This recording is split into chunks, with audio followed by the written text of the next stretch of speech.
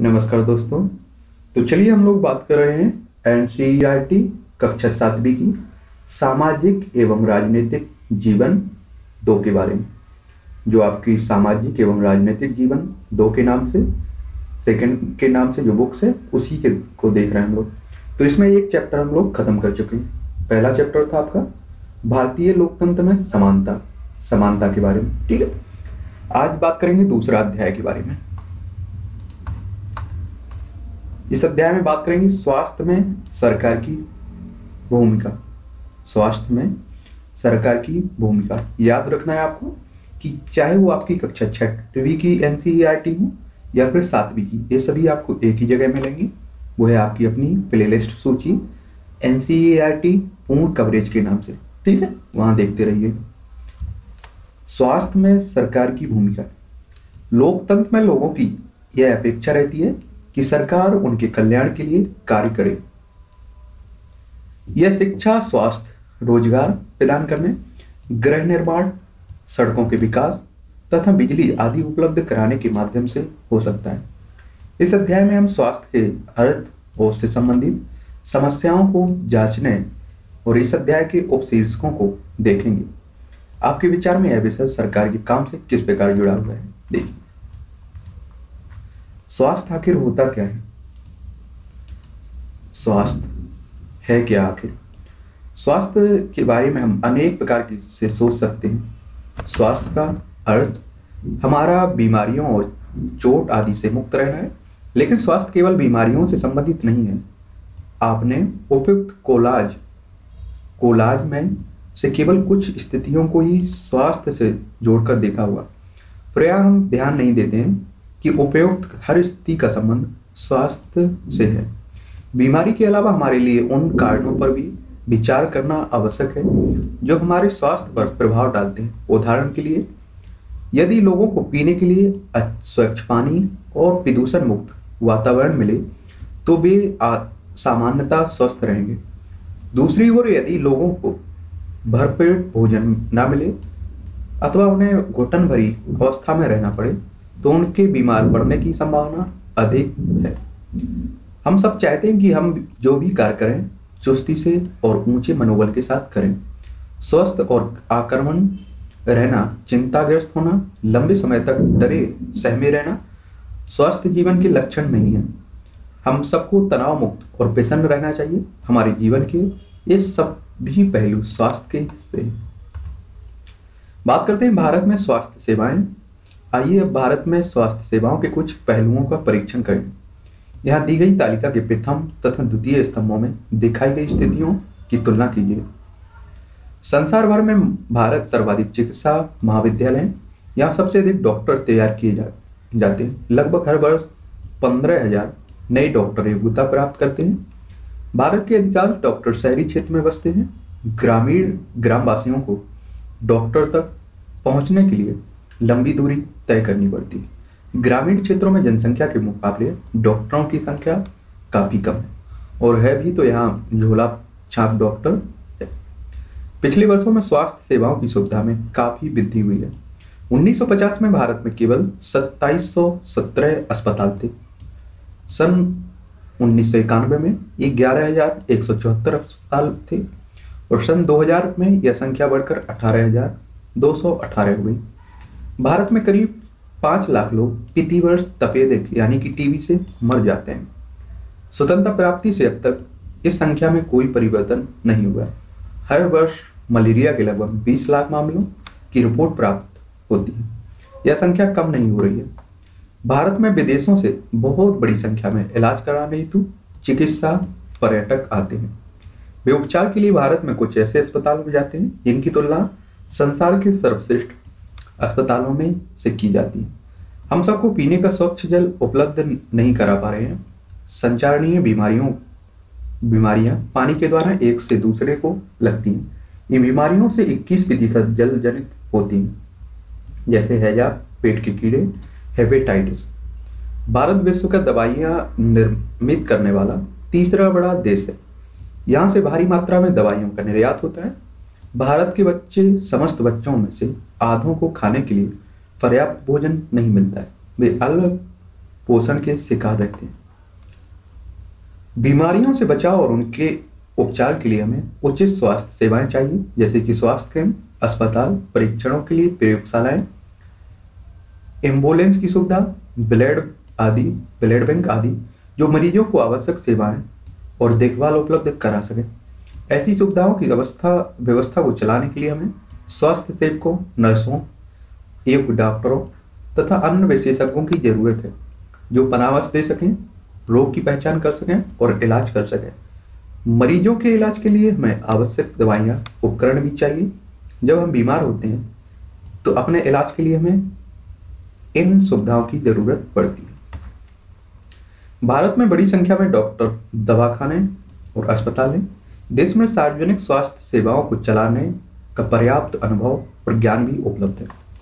ये ऐसे चिकित्सालय और स्वास्थ्य केंद्र हैं, जिन्हें सरकार चलाती है।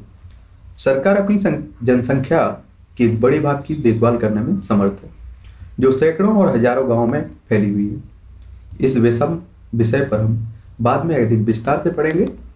साथ ही चिकित्सा विज्ञान में बहुत असाधारण प्रगति हुई है, जिसके चलते देश में इलाज की नई नई तकनीकी विधियाँ उपलब्ध हैं। फिर भी दूसरा स्तंभ दिखाता है कि हमारे देश में स्वास्थ्य की स्थिति कितनी खराब है। उपयुक्त सकारात्मक विकास के बाद भी हम जनता को उचित स्वास्थ्य सेवाएँ देने में असमर्थ है।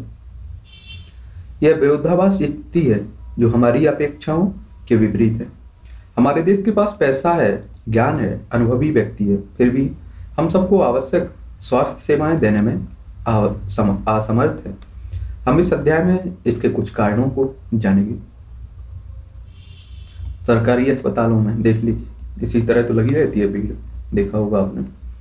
बात करते हैं हाकिम शेख की कहानी के बारे में। हाकिम शेख पश्चिम बंगाल खेत मजदूर समिति के एक सदस्य जो पश्चिम बंगाल में खेतीहार, मजदूरों का एक संगठन उन्नीस में एक शाम वे चलती ट्रेन में से गिर गए और उन्हें सिर में गंभीर चोट आई। उनकी हालत बहुत नाजुक थी। उन्हें तुरंत इलाज की आवश्यकता थी। उन्हें कोलकाता के एक सरकारी अस्पताल में ले जाया गया, लेकिन उन्हें भर्ती करने से मना कर दिया गया, क्योंकि वह वहाँ कोई बिस्तर खाली नहीं था। दूसरे अस्पताल में आवश्यक सुविधाएँ और उनके इलाज के लिए ज़रूरी विशेषज्ञ नहीं थे।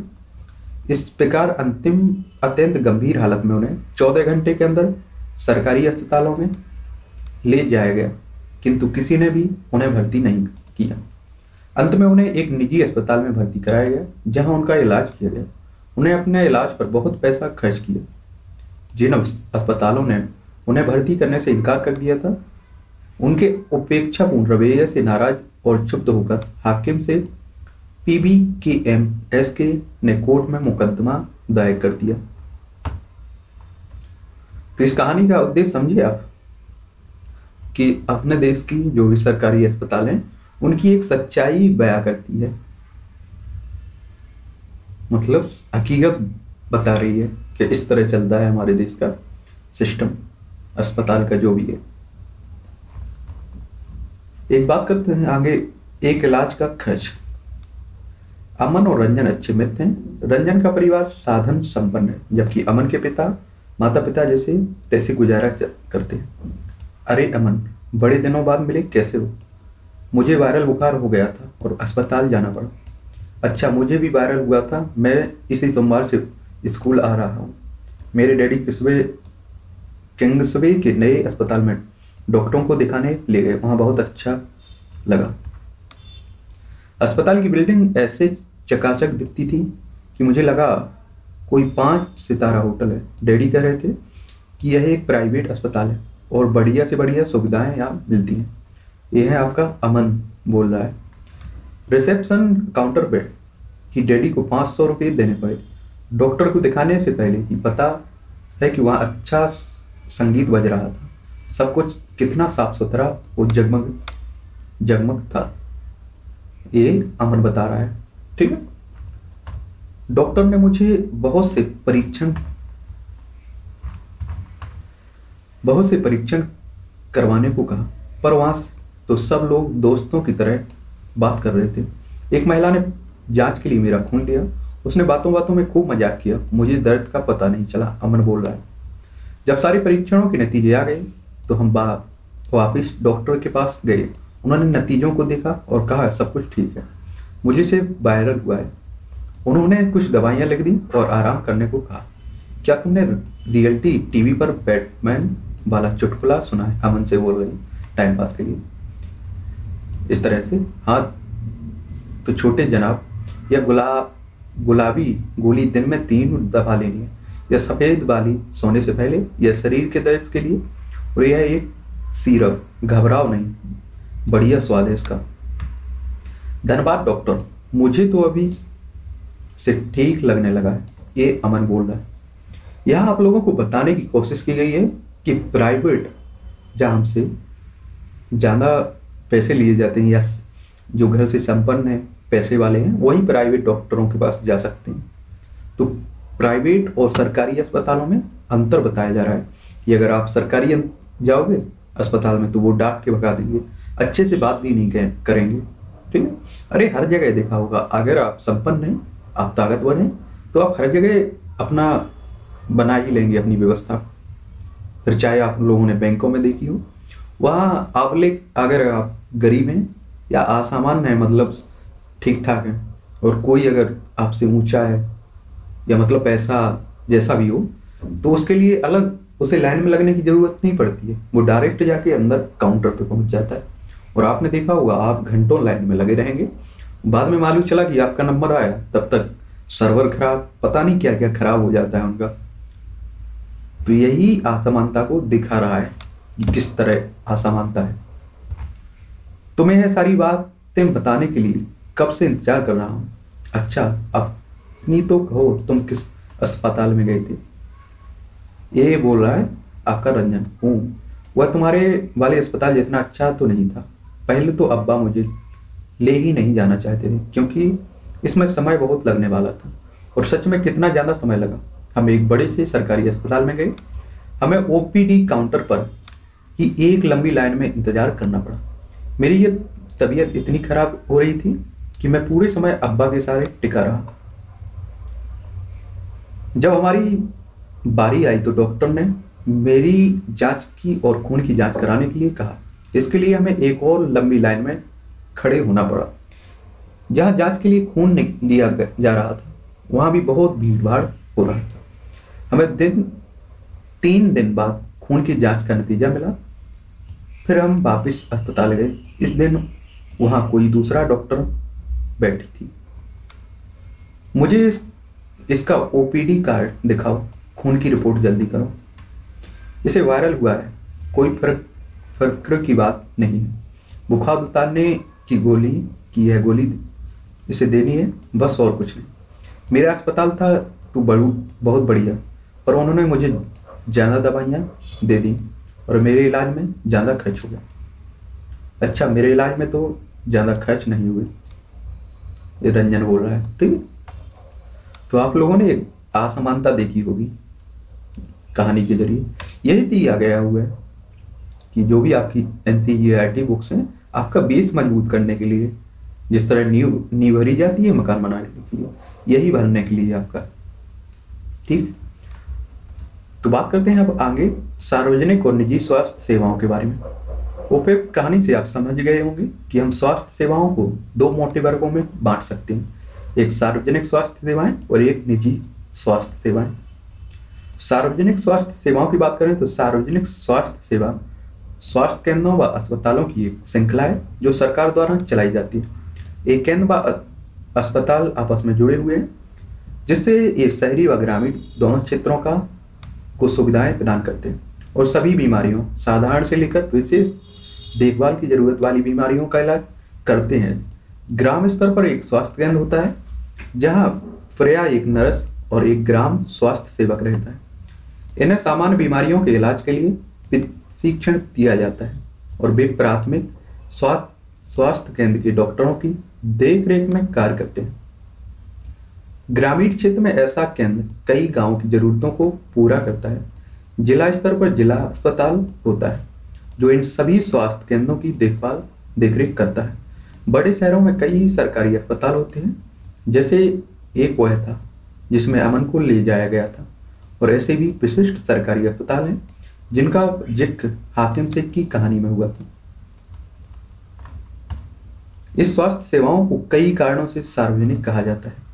सरकार ने सभी नागरिकों को स्वास्थ्य सेवाएँ प्रदान करने की वचनबद्धता को पूरा करने के लिए अस्पताल तथा स्वास्थ्य केंद्र स्थापित किए।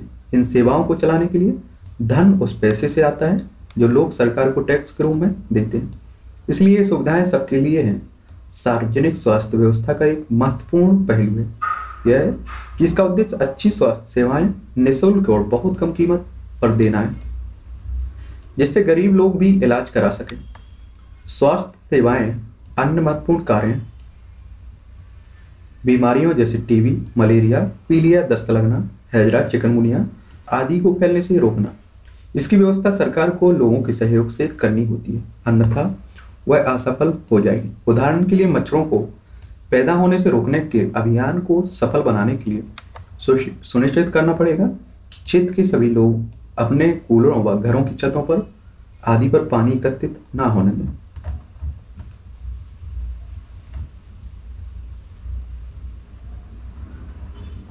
हमें सरकार को कर क्यों देना चाहिए? देखिए, सरकार कर से प्राप्त धन का उपयोग विभिन्न प्रकार की सार्वजनिक सेवाओं को मुहैया करवाने में खर्च करती है, जिससे सभी नागरिकों को फ़ायदा होता है।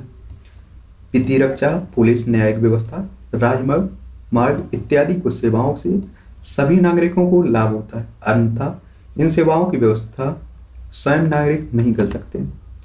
करों से ही कुछ विकासात्मक कार्यक्रम सेवाएँ उपलब्ध होती हैं, जैसे शिक्षा, स्वास्थ्य, रोज़गार, सामाजिक कल्याण व्यवसायिक प्रशिक्षण इत्यादि, जिनसे जरूरतमंद नागरिकों को लाभ मिलते हैं। करों से प्राप्त धन का उपयोग, कुछ प्राकृतिक आपदाओं जैसे बाढ़, भूकंप, सुनामी आदि मामलों में राहत और पुनर्वास के लिए भी किया जाता है। अंतरिक्ष परमाणु एवं पिच्छेपास्तुओं से संबंधित कार्यक्रमों को को भी करों के द्वारा प्राप्त राजस्व से ही चलाया जाता है। सरकार खास तौर से गरीबों को सेवाएँ प्रदान करती है, जो वे बाज़ार से नहीं खरीद पाते हैं। इसका एक उदाहरण स्वास्थ्य संबंधी है, सेवा है, ठीक हाकिम सेब आगे बात करते हैं। हाकिम हाकिम सेब के विकरण को पुनः याद करें। क्या आप जानना चाहेंगे कि उनके मामले में कोर्ट ने क्या निर्णय दिया? हमारे संविधान के अनुसार लोगों के हित को सुनिश्चित करना और सबको स्वास्थ्य सेवाएँ प्रदान करना सरकार का प्राथमिक उद्देश्य है। सरकार को हर व्यक्ति के जीवन के अधिकार की रक्षा करनी। और अदालत ने कहा कि हाकिम से को जिन कठिनाइयों से गुजरना पड़ा। उसमें उनकी जान भी जा सकती थी। यदि कोई अस्पताल समय पर व्यक्ति को इलाज नहीं प्रदान कर पाता तो इसका तात्पर्य है कि उसे जीवन की सुरक्षा नहीं दी जा सकती। है अदालत ने यह भी कहा कि सरकार का यह कर्तव्य है कि वह मरीजों को आवश्यक सुविधाएँ, स्वास्थ्य सेवाएँ दें, जिसमें आकस्मिक इलाज की सुविधा भी सम्मिलित हो। अस्पताल उसके, उनके स्वास्थ्य संबंधी कर्मचारियों को आवश्यक इलाज प्रदान करने की ज़िम्मेदारी पूरी करनी चाहिए। कई सरकारी अस्पतालों ने हाकिम सिख का इलाज करने से मना कर दिया था। इसलिए अदालत ने राज्य सरकार को निर्देश दिए कि वह हाकिम सिख द्वारा इलाज पर व्यय किए गए पूरे खर्च का भुगतान करें।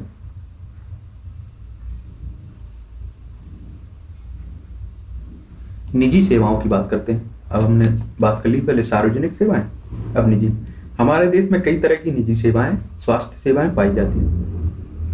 बड़ी संख्या में डॉक्टर अपने निजी दवाखाने चलाते हैं। ग्रामीण क्षेत्रों में पंजीकृत चिकित्सा व्यवसाय मिल जाते हैं। शहरी क्षेत्रों में बड़ी संख्या में डॉक्टर हैं, जिनमें से बहुत से विशेषज्ञ की सेवाएँ प्रदान करते हैं। निजी रूप से चलाए जा रहे अस्पताल नर्सिंग होम भी हैं। काफ़ी संख्या में प्रयोगशालाएँ हैं जो परीक्षण करती हैं व विशिष्ट सुविधाएँ उपलब्ध कराती हैं, जैसे कि एक्सरे, अल्ट्रासाउंड आदि। ऐसी दुकानें भी हैं जहाँ से हम दवाइयाँ खरीदते हैं। जैसा कि इनके नाम से ज्ञात होता है, निजी स्वास्थ्य सेवाओं पर सरकार का स्वामित्व तथा अथवा नियंत्रण नहीं होता है। सार्वजनिक स्वास्थ्य सेवाओं के विपरीत, इन निजी स्वास्थ्य संस्थाओं में मरीजों को हर सेवाओं के लिए बहुत धन व्यय करना पड़ता है। आज निजी स्वास्थ्य सेवाएँ चारों ओर फैली दिखाई देती अब तो बड़ी बड़ी कंपनियाँ अस्पताल भी चलाती हैं। कुछ कंपनियाँ दवाइयों को बनाने और बेचने में भी लगी हैं। शहरों के कोने कोने में दवाइयों की दुकानें देखी जा सकती हैं। बात करते हैं स्वास्थ्य, सेवा और समानता। क्या सबके लिए पर्याप्त स्वास्थ्य सेवाएँ उपलब्ध हैं? हम भारत में ऐसी स्थिति का सामना कर रहे हैं जहाँ निजी सेवाएँ तो बढ़ रही हैं, परंतु सार्वजनिक नहीं। ऐसी दशा में लोगों को मुक्त निजी सेवाओं की ही उपलब्ध हो पाती है। ये शहरी क्षेत्रों में केंद्रित है। इन सेवाओं का मूल्य भी अपेक्षाकृत अधिक रहता है। दवाइयाँ महँगी होती हैं। बहुत से लोग उन्हें खरीदने में समर्थ नहीं होते। इसलिए जब परिवार में बीमारी होती है तो उन्हें ऋण लेना पड़ता है। कुछ निजी सेवाएँ अधिक कम, कमाने के लिए प्रयास, ऐसे कार्यों को प्रोत्साहित करती हैं जो सही नहीं है। कई बार सस्ते तरीके उपलब्ध होने पर भी उनके प्रयोग नहीं किए जा सकते। उदाहरण के लिए, प्रया देखा जाता है कि कुछ चिकित्सक ज़रूरत से ज़्यादा दवाइयाँ इंजेक्शन या सेलाइन आदि की सलाह देते हैं, जबकि साधारण इलाज भी पर्याप्त हो सकता है इसमें। भारतीय आयुर्विज्ञान परिषद का आयु विज्ञान नैतिक सहायता कहता है, जहाँ तक संभव हो, प्रत्येक चिकित्सक को औषधों के जेनरिक नामी उपचार पर्ची में लिखने चाहिए। सुनिश्चित करना चाहिए कि यह युक्ति युक्त और उपयुक्त रूप में होती। अब तो आपके यहाँ जेनरिक दवाएँ भी आने लगी हैं और बहुत सस्ती हैं। तथ्य यह है कि आगे बात करते हैं कि तथ्य यह है कि जनसंख्या के 20 प्रतिशत लोग भी बीमारी के दौरान आवश्यक दवाइयों खरीदने में सक्षम हैं। वे लोग भी जिन्हें हम गरीब नहीं समझते हैं, दवा संबंधी खर्चों को उठाने में कठिनाइयों का अनुभव करते हैं। एक अध्ययन में पाया गया कि जो लोग अस्पताल में किसी बीमारी या चोट लगने के कारण भर्ती होते हैं, उनमें से 40 प्रतिशत लोग खर्चों का भुगतान करने के लिए पैसे उधार लेते हैं या अपनी कुछ संपत्ति बेच देते हैं। गरीब लोगों के लिए परिवार में हर बीमारी चिंता और मुसीबत का कारण बन जाती है। इससे भी बड़ी बात यह है कि ऐसी स्थिति में बार बार आती हैं गरीब लोग पहले ही पोषण की कमी का शिकार होते हैं। एक परिवार उतना भोजन नहीं खाते जितना उन्हें खाना चाहिए।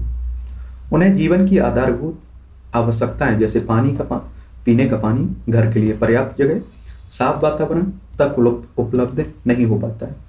और इसलिए उनके बीमार पड़ने की संभावना अधिक रहती है। बीमारी पर होने वाले खर्च से उनकी हालत और खराब हो जाती है। कभी कभी केवल पैसा ही लोगों के बेहतर इलाज में बाधक नहीं होता है। उदाहरण के लिए महिलाओं को तुरंत इलाज के लिए डॉक्टर के पास नहीं ले जाया जाता। कई आदिवासी क्षेत्रों में स्वास्थ्य केंद्र कम है और वे भी अच्छी तरह से नहीं चलाए जाते। वहाँ निजी स्वास्थ्य सेवाएँ भी उपलब्ध नहीं है। अब क्या किया जाना, जा सकता है? इस, इसमें कोई संदेह नहीं है कि हमारे देश में लोगों के स्वास्थ्य की दिशा अच्छी नहीं है।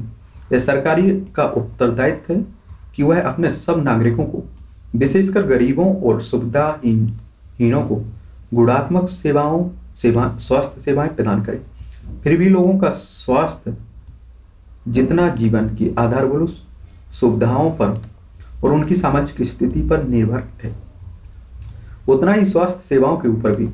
इसलिए लोगों के स्वास्थ्य की दिशा, दशा सुधारने के लिए दोनों पक्षों पर कार्य करना चाहिए। ऐसा करना संभव है कि अगले पृष्ठ पर दिए गए उदाहरण के देखिए।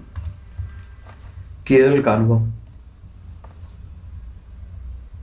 उन्नीस सौ छियानवे में केरल सरकार ने राज्य में कुछ महत्वपूर्ण परिवर्तन किए। राज्य के पूरे बजट का 40 प्रतिशत पंचायतों को दे दिया गया। इससे पंचायतें अपनी आवश्यकताओं को योजनाबद्ध कर उनकी पूर्ति कर सकती थी। इससे गाँव के लिए पीने का पानी, आहार, औरतों के विकास और शिक्षा की आदि के लिए उचित व्यवस्था सुनिश्चित करना संभव हो सका। इसके फलस्वरूप जल वितरण व्यवस्था की जाँच की गई। स्कूलों और आंगनबाड़ियों के काम को सुनिश्चित किया गया। गाँव की विशेष समस्याओं पर ध्यान दिया गया। स्वास्थ्य केंद्रों में भी सुधार किया गया।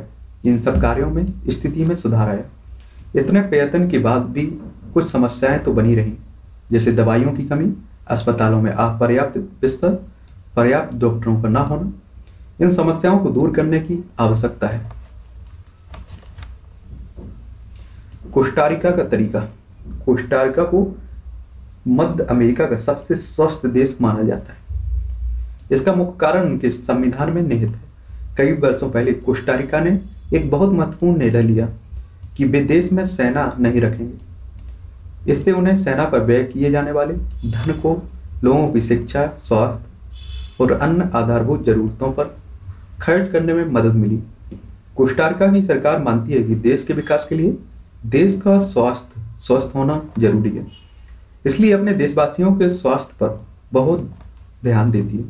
कोस्टारिका की सरकार अपने सभी निवासियों को स्वास्थ्य के लिए मूलभूत सेवाएँ व सुविधाएँ देती है। पीने का पानी, पीने का सुरक्षित पानी, सफ़ाई, पोषण और आवास। स्वास्थ्य की सेवाओं, शिक्षा को बहुत महत्वपूर्ण माना जाता है। सभी स्तरों पर स्वास्थ्य संबंधी ज्ञान, शिक्षा का एक ज़रूरी भाग है। था आपका दूसरा चैप्टर। क्या था? स्वास्थ्य में सरकार की भूमिका देख लिया। संविधान का एक महत्वपूर्ण हिस्सा कहता है कि पोषाहार स्तर और जीवन स्तर को ऊँचा करने तथा लोक स्वास्थ्य की सुविधाएँ करने का राज्य का कर्तव्य है। ये आपके कुछ अभ्यास के लिए क्वेश्चंस दिए गए। पीडीएफ टेलीग्राम पर डाल दी गई है। वहाँ से डाउनलोड करते रहिए। ठीक है? अब कुछ शब्द इसमें संकलन दिए गए। हम लोगों ने कुछ शब्द देखे, उनकी परिभाषा देख लेते हैं। वैसे तो हम लोग देख चुके हैं, फिर भी आपको एक निष्कर्ष के तौर पर बता दें इस पाठ अध्याय का क्या निष्कर्ष है। सार्वजनिक। सार्वजनिक वह सेवा या कार्य है जो देश के सभी लोगों के लिए है और मुख्य रूप से सरकार द्वारा आयोजित किया जाता है। इसमें स्कूल, अस्पताल, टेलीफोन सेवाएँ आदि शामिल है। लोग इन सेवाओं की मांग कर सकते हैं और यदि संस्थाएँ ठीक से काम नहीं करती हैं तो इन पर सवाल उठा सकते हैं। बात करते हैं निजी। वह सेवा या कार्य जो किसी व्यक्ति या कंपनी द्वारा मुनाफे के लिए आयोजित किया जाए। फिर चिकित्सा पर्यटक। ये वे विदेशी पर्यटक हैं जो इस देश के उन अस्पतालों में अपना इलाज कराने के लिए विशेष रूप से यहाँ आते हैं, जहाँ उन्हें अपने देश की तुलना में बहुत कम मूल्य पर विश्व स्तरीय सुविधाएँ प्राप्त हो जाती हैं। फिर आपका संचारणीय बीमारियाँ, ये वे बीमारियाँ हैं, जो एक दूसरे से दूसरे व्यक्ति को कई माध्यमों से माध्यमों से संचारित हो जाती हैं, जैसे पानी, भोजन, हवा इत्यादि। ओपीडी, यह आउट पेशेंट डिपार्टमेंट या बाह्य रोगी विभाग का संक्षिप्त रूप है। अस्पताल में किसी विशेष वार्ड में भर्ती होने से पहले रोगी को ओडी, ओपीडीएफ में जाते हैं, नैतिक आचार। किसी व्यक्ति के व्यवहार को प्रभावित करने वाले नैतिक सिद्धांत। फिर आपका जेनेरिक नाम। दवाओं के रासायनिक नाम है। बेदवाओं, दवाइयों में प्रयुक्त सामग्रियों की पहचान करने में मदद करती हैं। वे विश्व स्तर पर मान्यता प्राप्त है। उदाहरण के लिए एसिटाइल सालिसैलिक एसिड एस्पिरिन का जेनिक नाम जेनेरिक नाम है। ठीक है? तो ये आपका दूसरा चैप्टर खत्म हो गया तीसरे चैप्टर में हम लोग बात करेंगे। राज्य शासन कैसे काम करता है? आखिर राज्य शासन आपका कैसे काम करता है?